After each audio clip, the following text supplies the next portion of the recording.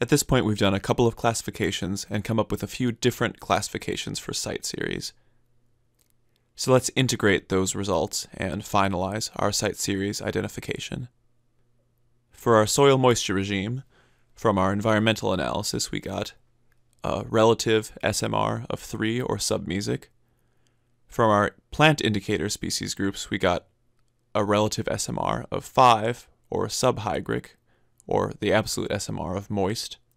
For soil nutrient regime, our environmental analysis gave us C medium or D rich, and our plant indicator species groups gave us D or E rich or very rich.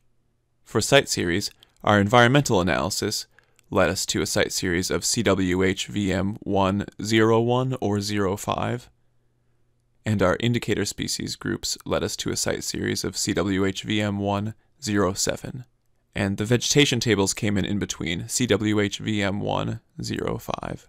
So if we look at those things all together, for our final classification, a site association of 05 or a site series of CWH VM1, 05 seems like the best fit for what we found in our different analyses.